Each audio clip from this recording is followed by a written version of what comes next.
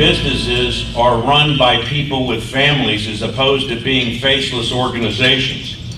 Um, she, she knows that, uh, you know, she's got to establish the conditions that create success. And the conditions I'm talking about always are, you've got to go ahead, you've got to remove the barriers that are out there to uh, allow business to prosper, prosper, and you've got to do it in support of those individuals that work with you.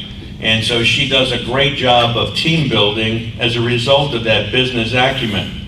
Uh, on the very positive side, she understands risk, but more importantly, as every one of you, she understands how to mitigate risk. And that's a big, big deal when you're dealing with a business uh, that has to uh, uh, put all of those pieces together. Communities don't survive unless the economic uh, engine in a community survives. She understands that, uh, ensures every cabinet agency understands that small business is the economic engine for the state of South Carolina. Um, she knows it so well that she literally beats the, uh, the cabinet members into understanding that. And I'll give you just a short DMV uh, you know, uh, expose. When we started the COVID lockdowns in March of uh, 19, uh, we didn't shut down, but we had so many constraints in place that allowed us to operate freely that at the end of uh, April, we were $40 million behind collections. The end of the fiscal year is June 30th. By the end of June 30th, in terms of opening the aperture and making us successful, we had not only broken every financial record bringing business in, but we were plus $40 million from the previous high before. A lot of that can be attributed to how you all were, and it sort of shocked me, selling cars. Because a lot of that engine opened on up, and all of a sudden, you know, think about what it would have been like had the DMV not been open for you for those car sales. Not going to let those things close. Let's see. Uh, she is. Uh, you know, pushes the full employment piece in South Carolina, wanted to see everybody get back to work early. And as a result, that economic engine that started in South Carolina started to feed the East. But the DMV, for example, did not close for a single day. I think the car dealers benefited. I think the economy benefited. And that doesn't come from not understanding business. Uh, and as a result, it is my honor to go ahead and introduce uh, not a politician, but a businesswoman that understands the community better than anybody I know, the 93rd Lieutenant Governor of South Carolina, Pam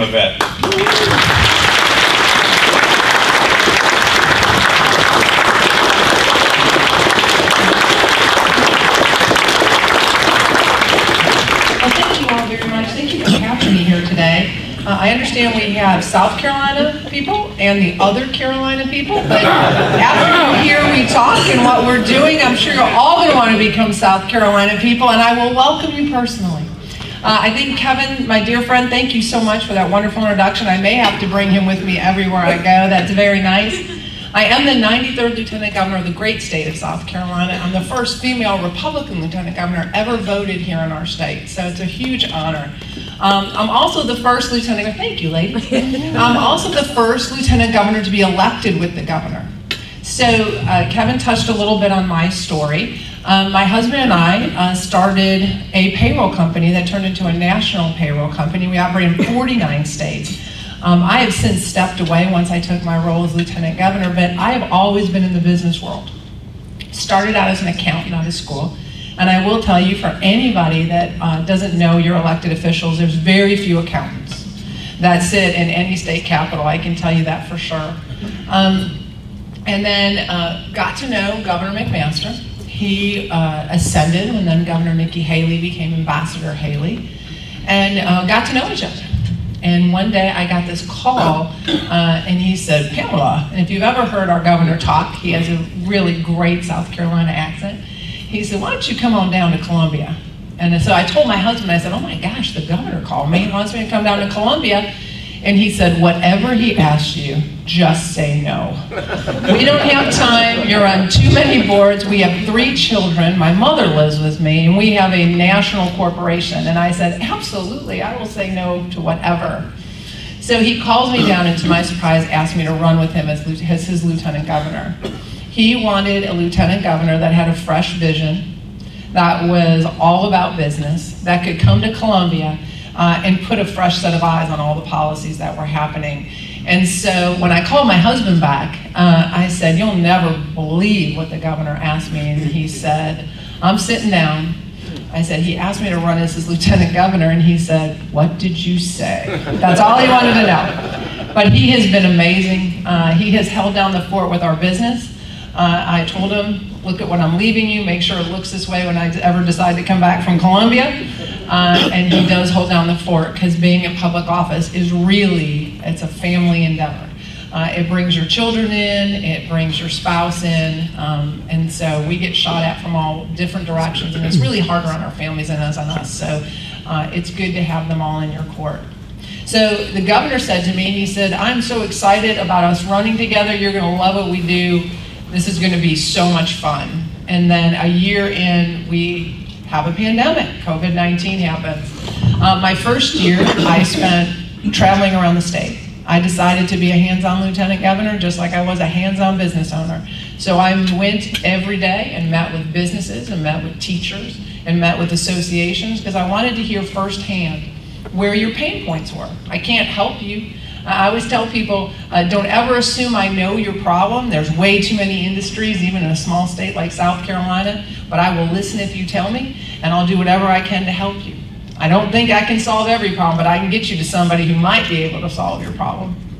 So that's what I spent my first year doing. I was so excited. We were focusing in South Carolina on education, specifically 4K education, on getting our businesses what they needed uh, to keep growing South Carolina. For any of you who don't know, I mean, we manufacture more cars and tires in South Carolina than anywhere in the world. Very happy that we're so close to our port. The Port of Charleston is going to be the widest, deepest port on the East Coast. Uh, and we have two inland ports, which makes South Carolina very attractive to manufacturers from all around the globe. Got to go down the port and see what happened. Was so excited going into that second year in 2020 South Carolina was booming. We had a $2 billion surplus. We were going to focus a lot of that on education, as I said, especially that early 4K education to get our numbers up. We were going to enhance our technical schools because South Carolina has the best technical colleges anywhere in the country, and I know because I spar with my lieutenant governors from across, uh, across the country to tell them what we do here. We put a big focus on Be Pro, Be Proud making sure that we stood up so that parents would know it is okay when your child doesn't want to go to a four-year university. The path to success doesn't lie in a four-year degree. Uh, it's a way to get there, but so are technical schools. We know that because South Carolina is also leading in advanced manufacturing. So we were going to push our Be Pro, Be Proud, do more to let our parents understand what we do here in South Carolina, showcasing our technical schools. Then COVID happened. Wow. So as you heard me say, $2 billion going into COVID, what I'm so proud of is because of the leadership of this state, we came out of COVID with a surplus. Lots of states went into COVID with a surplus, but South Carolina came out, and that was due to really good fiscal policies that we kept here in our state. All kinds of things happened. Where South Carolina different is we did not shut down our state. We knew we needed to keep people being able to fend for their families, small businesses needed to keep running. So that's what we did. We tapped the brakes early on. We were the last state east of the Mississippi uh, to do any kind of closures, and we were the first state to open up. We never called a business essential or non-essential. Because being a business owner myself, and because I'm looking out at a bunch of business owners, uh, you would never want somebody to call your business non-essential, because it's essential to you and all the people that you work for. So we never did that. We looked at industries that we knew would be close contact, where spread could happen, uh, and we tapped the brakes on them for the shortest amount of time so we can get our hospitals to get their arms around it. And as a business owner, I think I am most proud of that we did here in South Carolina is the governor uh, came up with a task force was a 30-day task force called Accelerate SC. And what we did is we brought our higher ed, our K through 12, we brought associations, we brought our hospital community, we brought state, local, and federal legislators in South Carolina to the table. And as a business owner, I can tell you the one thing that used to always frustrate me was that in all the states we operated in, government never came and asked us what we thought, what we needed, or what we could do. And so it was the proudest thing sitting up there with the governor and having business at the table to say, how do we help you? How do we help you get consumer confidence back so people will come out of their house and come back to restaurants or buying cars or going to a, a store, a retail store? And that's what we did. So for 30 days, we worked with all of South Carolina to see how we could get our state back open and do it the right way. We also worked on what do business need? What are you most worried about? And that's where we passed this year legislation to make sure that you could not be sued uh, in a COVID-related injury. We sheltered that here. We gave you a safe harbor, which we were really happy about because that was the number one thing we heard of. The biggest thing we wanted to show the people and the businesses in South Carolina is that we were going to be transparent with all the federal dollars that were coming in. You know, the first wave of CARES money, how was that going to be distributed? We never want anybody to feel like we were tipping the scales on one industry or another. So what we did with those Accelerate SC meetings is we televised them. There was never a meeting that happened behind a closed door. SCETV came in, they filmed every single one, where we talked about openly how money would get distributed to small businesses and what we could do to make it fair. We kind of, in 30 days, that was the maximum time. We didn't want to start a new branch of bureaucracy at all. So after that, we kind of, so, you know, we broke up the band, but we brought it back together here about a month ago because now we have more money coming down from the federal government. Dollars that we want to make sure are being spent wisely here in South Carolina. We want to make sure they're being spent with transparency. So now what we're doing is we're sitting down to figure out how do we give out small business grants? How do we work on infrastructure? You know, South Carolina, I'm, I'm very proud, as, as small of a state as we are, I think we're the fourth leading state in the country with state roads that have to be maintained. So Christy Hall with SCDOT is doing a great job. I know if you live on a street that you hate, uh, you probably don't think that, but I always try to tell people if you're on a road that hasn't gotten fixed yet, you should consider yourself lucky because it wasn't worse than the road that's getting fixed on today. Um, Secretary Hall has done a great job with the gas tax. She, if any of you are wondering what roads are about to be fixed here in South Carolina, I encourage you all to go on SCDOT's website take a look at what she is doing uh, as far as laying out by county what roads are being fixed, what roads have been fixed, what roads are in the process of being bidded on with her timeline. She will tie it back to every penny of gas tax that has been collected here in South Carolina. Doing a big um, focus on bridges here this year, so I'm excited about what's happening in that direction. Coming out of COVID, uh, South Carolina ended up being $700,000 uh, in the black, which is amazing coming out of COVID. We did not uh, cut one single state-funded program during that time period. We are doing, it has just been amazing the amount of growth we've had here in our state and will continue to grow. Uh, 67 people move into the state of South Carolina every single day. I like to think that's because they like the way our state is being run. I know business does. I meet with businesses from all across the globe, and that's what they've said.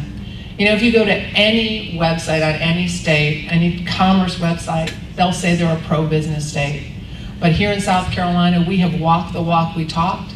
We feel like we have given people a very good indication of how we cherish business here in our state by the way we handled their needs during COVID.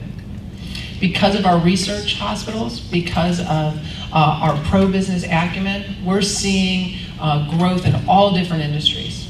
Not just anymore in advanced manufacturing, but in the life science world. And we're seeing that coming in from countries like Switzerland and Germany. Coming here, our growth is endless. I'm very excited about what's happening and what we're going to see in the year ahead. Uh, we have a lot of great things that we passed legislatively this year. We passed the heartbeat bill, which we are very proud of here in South Carolina. That's what we heard from people. People were very uh, proud of supporting life. We've also worked on our 4K education. We've given our teachers raises. We're doing everything we can to make sure that we, um, we protect the future, and future is our children. So we're protecting that all the way around here in our great state. We're also looking forward at what's happening with our colleges and technical colleges, investing more and more money into them and programs that are available to them, because we need to create the next generation of workers. We want to make sure we're continuing to grow, because all those kids growing up are going to need cars at some point. So we want to make sure we get them through school. If they can get past DMV, then we'd head them to you next. Um, but what I want to do is, is I can tell you all kinds of great things that are happening here in our state, but I want to hear from you. And maybe you have some specific questions that deal with your industry or just things that you're, um, you're you just want to know more about. So I'm going to open it up the floor and ask any of you, you can ask me any question you want. You won't hear that. My colleagues will not always let you ask what any question you want, but I will, so. Guys are being very Okay, kind. I'll, I'll be first. I was Yeah, you'll start the ball rolling. Okay, this is specific DMV related. Um, we have in South Carolina specifically a four-page, uh, what we call a PTO form. It's affidavit, notification, transfer of motor, motor vehicle. And everything else we use is lasers, so I'm, I'm trying to figure out where we need to start to move toward a laser form and get rid of that carbon form if it's possible. Kevin, that's you, but you don't need a mic, you just stand up and talk. That's exactly what I'll do. Um, Number one, what- one of the things we do in South Carolina that I am proud of is we have a stakeholder meeting. And so, uh, and this is not a cheap shot, but you know me, I'm going to be direct. Until you bring it up, I can't read your mind, okay? I'm willing to look at something like that. I want to look at something like that. But in 10 years, this is the first time somebody's asked me about something with a laser printer or a laser photo. So let's get together following this, have a conversation. Uh, I don't know whether or not we can do it or not because I've got to understand the business process that it will take. But if I can find a way to make your job easier, it'll make my job easier. And I know the lieutenant governor's going to beat me up for what I'm going to say, but if I can make it easier by keeping you the hell out of my DMV, I'm all in.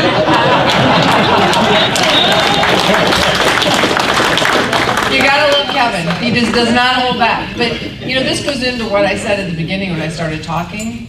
Don't assume we know where your pains are. We can't know unless you tell us. And that's, if you've been feeling that, I'm glad you got a chance to say it. And I know if anybody can fix it, it'll be this guy right here. Nobody else. Wow, you guys are easy. Third graders come to the Capitol all the time, and I get asked all kinds of hard questions. How many marble pieces are on the on the floor on the first level? How tall is the is the Capitol? And uh, all kinds of things. I make Micah uh, in my office Google everything because I don't want to be, you know, uh, I don't want to be dumber than a third grader, right? I can't. When are we going to see you at the top of the ticket?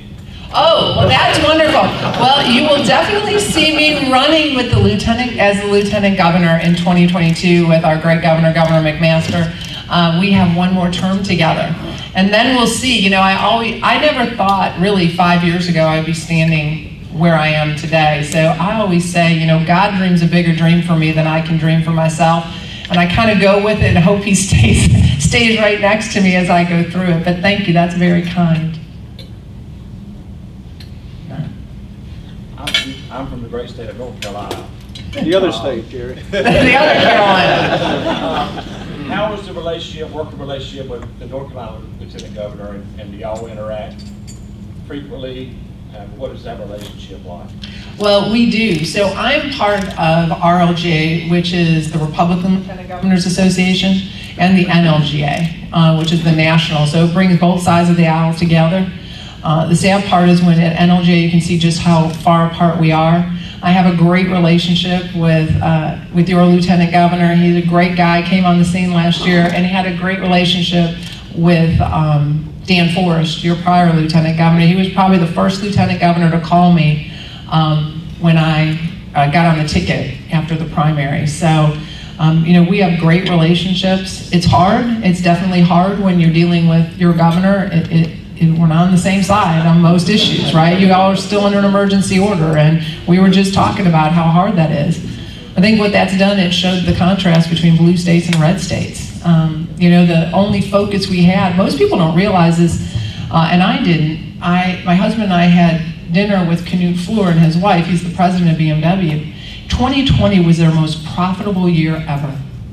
2020. I mean, years where things were closed down, and he um, attributes that to good administration um, at the executive branch.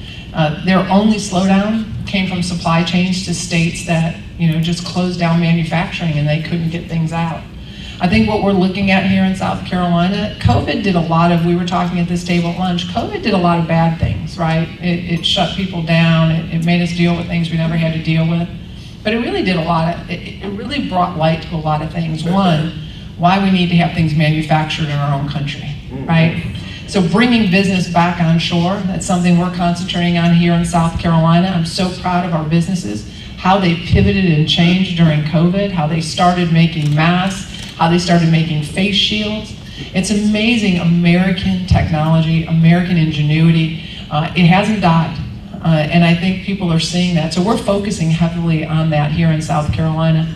Um, so I'm really, I'm grateful for some of the things that came to be. I think if we, if we don't forget the lessons we learned, and I know we won't here in our state, I think good things are going to come. I think parents getting involved in their children's education, uh, also a very big thing, right? I think parents assumed what was being taught in schools for a long time, and now they're seeing, I think we value teachers and what they do every day. Uh, I know as a mother, my youngest is going into ninth grade. I, I, it just reconfirmed the fact that I would have never been a good teacher, not at all. Um, but I think you know it did it did bring a lot of things to light for us as, as, a, as a country and as a nation. So very proud of what we're doing here in South Carolina. Um, 2022 is going to be a telling year for businesses all, all, all across our country. What is the state doing at the state level to control inflation? So what are we doing? So what we're trying to do is not inject a lot of false money, right? We're trying to make sure that what we're doing uh, here in South Carolina with money that's coming in from the federal government is do programs, not develop new programs that are going to take money going forward, uh, but do something that will actually make, create a big impact, a one-time spend, so that we don't have to go back to our taxpayers to keep funding a new phase of bureaucracy. Uh, that's what we've been instructed to do. That's what the governor has given everybody uh, their marching orders for with Accelerate SC. We're actually in South Carolina looking at lowering taxes. We want to make sure um, that taxes continue to go down in our state. It has not uh, not gotten our attention that states like Florida and Tennessee and Texas that have zero tax have uh, some huge uh, amounts of surplus at the end. Uh, the governor brought in Art Laffer, and uh, he was the uh, he was the finance guy for President Reagan, and, and he just written a new book. And so we heard him speak, and it was it, as an accountant, it wasn't surprising to me, but it was amazing how the light bulb went off in the room with so many people. Is he talked about a business? If you're going to get hit with a three million dollar tax bill, you'll spend two million dollars to save three million, right? Because you're gonna you're, you're a million up. But states like Tennessee and Florida and Texas that have, you know, they have zero tax, they'll pay more tax in other areas. They won't look to try to get out of it because they're not going to spend, you know, three million to save a million. They'll just pay the million dollars in tax.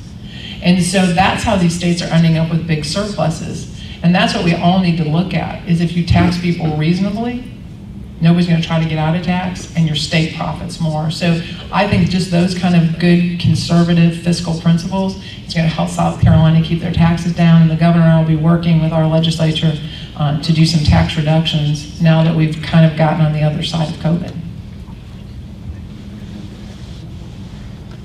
All right, well, you guys were a great audience. Thank you so much for having me, and I hope you enjoy the rest of your time with the great state of South Carolina.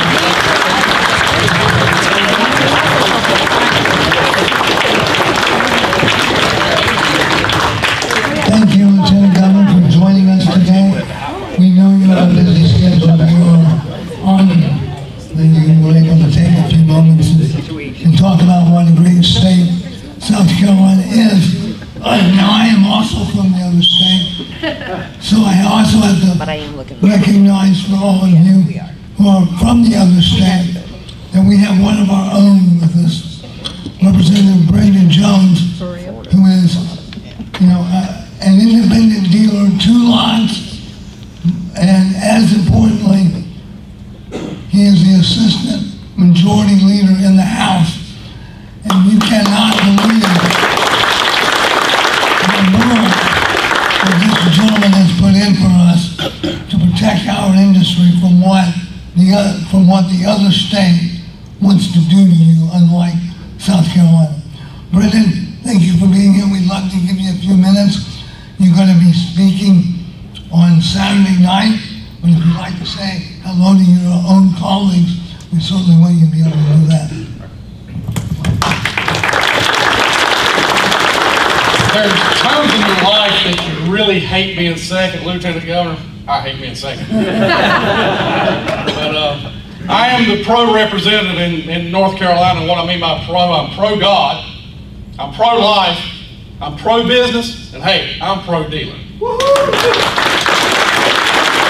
I have the distinct pleasure of being able to serve in the people's seats. This is my third term. Uh, I too serve as a Republican. I came from a district that had never elected a Republican since Reconstruction. I actually in a seat that was a D13, meaning there was 13 Democrats to every Republican, and I won that seat by 28 points. The reason I was able to win that seat was I did something that my predecessors never did. I cared. I went door to door. I worked every fire department. I went to every rescue unit. I went to every car lot you could go to. And I'm very proud of one thing that's never been done. I received 14% of the minority vote in my district, which is unheard of, because we relate more than we're different. And sometimes people are just not told that.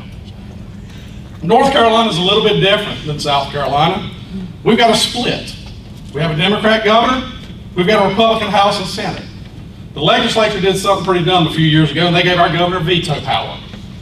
So the governor has now withheld billions of dollars from the citizens.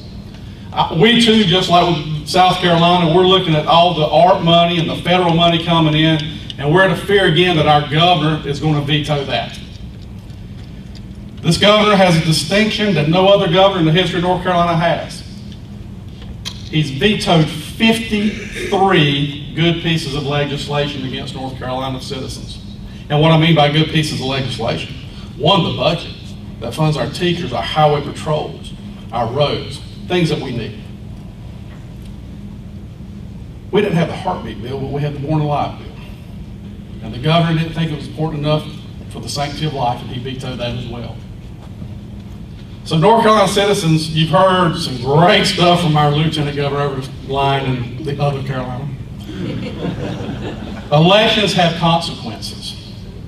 They really do. And it's time for the citizens of North Carolina to do something that I have pleaded in my own district, but I'm going to plead to you guys because you're going to be all over the state. Start voting with your conscience and not with colleagues, not with what's popular in your community. Do the right thing. Thank the good Lord that our governor does not have a checkbook pen because he would bankrupt us. But the Republican controlled legislature since 2010, when we took over from the previous administration, North Carolina was $2 billion in debt to the federal government. Under the leadership of Thom Tillis and Governor Pat McCrory, not only did we pay that $2 billion off, we put a $2 billion surplus in in less than four years. Our rainy day fund, that which we need, the Lieutenant Governor understands that because of all the catastrophes that we have with hurricanes and such, if we get our way and we get the right things done, we'll have $5 billion in a rainy day fund and we'll have a balanced budget.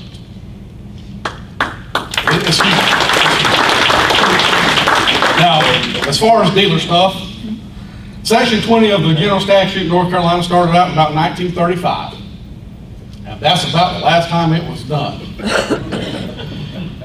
Term salesman is defined 12 different ways under that statute. The last section was the first time we revisited, a car actually had to have two tail lights in the state of North Carolina. Uh, and the reason that came about is we had to release a uh, convicted murder on a technicality because it was found improbable that he, the policeman could not stop him on that cause. So things that we're doing, we'll talk about tomorrow, but I can promise you we're streamlining. I sure wish I had a colonel in my state that felt like you do. Uh, the problem with split government is, is a true battle of, of ideologies. Uh, we want to be pro-business. We want to cut the red tape. And you guys know, I heard about paperwork for South Carolina. Try selling a used car in North Carolina, it's about 14, 15 documents. So we're sitting with DMV we're encouraging them to look at our documents to streamline that process for us. Um, just trying to, as each one of you know, we all shop at Manheim in, North Carolina. We still use the old paper renewals. And a lot of times they'll be 30 days late, Manheim cuts you off. I'm gonna have it now where there's a 30-day grace period on your license and Manheim can't cut you off. So there's a lot of little things like that we're gonna do. It's just an honor to serve you. It's the first time I believe that we've ever had a used car dealer, especially a small used car dealer. Not one real smart. I started my second lot the week COVID hit, so we won't go there. Um, but I mean, I, I understand what you're facing. I, I signed the front and the back of the check, so I get it. I know how important this stuff is. And the governor hit on one thing, and I'll, I will leave with that, is taxes. One thing North Carolina has done, we do have a great tax package in place to once again reduce. And 90% of our citizens now, the way we have structured the legislature, do not pay state income tax. And our goal is to hit it at zero for everyone. So I will, uh, I will leave you with that. I look forward to seeing you all tomorrow. John, thank you for giving me the opportunity, and uh, God bless. Thank you, Representative Jones. So I'm joined by South Carolina Lieutenant Governor, the Honorable Pamela Evette. Thank you so much for being here today and taking some time with the dealers. Love what you had to say about South Carolina and the pro-business stance and really how the, the state has sort of navigated this whole crisis over the last year or so. Well, I want to thank you all so much for having me. This was a wonderful event. I mean, it's always great to be in a room with other small business owners and to hear what they have to say and to hear what we can do to make things better for them. Thank you for what you guys do because it's these associations that really help everybody grow. Thank you so much. Appreciate it. Thank you.